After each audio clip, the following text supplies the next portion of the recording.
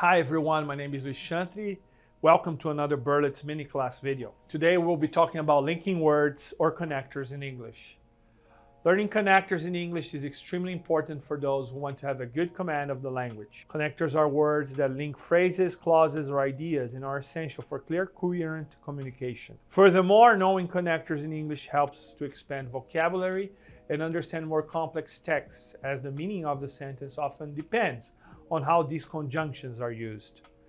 Correctly using connectors in English is also fundamental for those who want to achieve good results in proficiency tests such as TOEFL, TOEIC, and IELTS. Therefore, dedicating time to learn and practice connectors in English is a smart choice for those seeking to improve their English language skills. Before we start, let's hear some important tips for this lesson. When I say repeat, you try to repeat as accurately as possible. Go back, compare, see if it was similar, and try again. When I say now you go or it's your turn, I will assume that you are responding to me and simulate a dialogue with you. Practice, repeat, try again, and compare. Let's get started.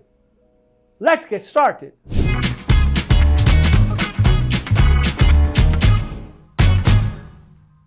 Connectives in English are words or expressions that connect two ideas or thoughts in the same sentence. They are important to give cohesion and coherence to the text, making it easier to understand. Some examples of linking words in English are and, but, are, so, however, therefore, etc. Let's see some examples. I'll say it and you repeat two or three times, okay?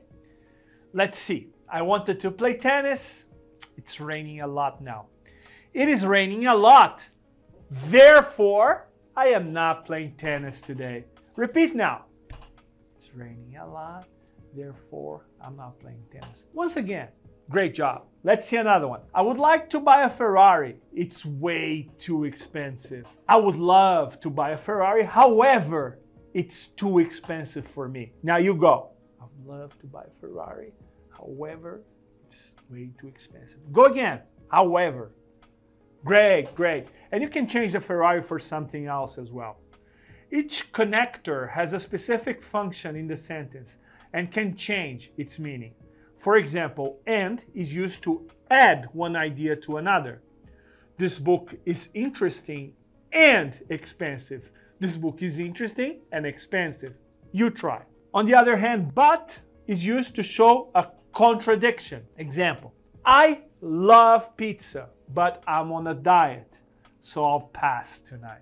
You go now. I love pizza, but I'm on a diet, so I'll pass. In addition, there are connectors that are used to show cause and effect, such as because and so, and others that are used to make comparisons, such as as, as. It is important to know the meaning of each linking word in order to use them correctly and effectively. Some examples. John is not going to the party because he has to work. Please repeat because. John is not going to the party because he has to work. Luana is tired, so she's taking a rest.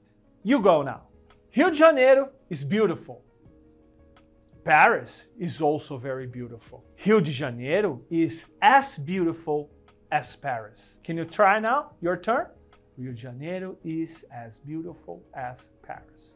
To use connectives in English, it is important to understand how they fit into the sentence and how they change the meaning of the sentence. For example, if you want to add one idea to another, use and. But if you want to show a contradiction, use but. It is also important to know where to place the connectors in the sentence so that it makes sense. And to help familiarize yourself with the connectors, practice reading and writing texts in English, paying attention to how the connectors are used. Let's see some other connectors and practice a little bit more. I am so tired.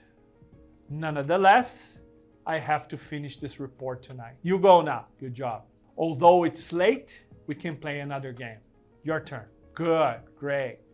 Despite being a little stubborn, she can become a good asset to the team.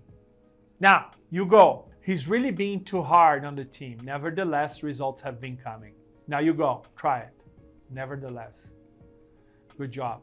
So, what did you think about the explanations uh, about the connectors in English? I hope you learned more about how to use the linking words to make your English more cohesive and coherent. Now, tomorrow, try to recover some of them without writing them. Try to uh, use the sentences, go back, put them together, compare, try, then watch the video again, practice a little bit more. Always try to recover what you, what you saw in the video. Then correct yourself. Finally, try to use them in your everyday conversations. Tell us more in the comments. Don't forget to like the video, share it with your friends, and subscribe to the channel for more videos like this one.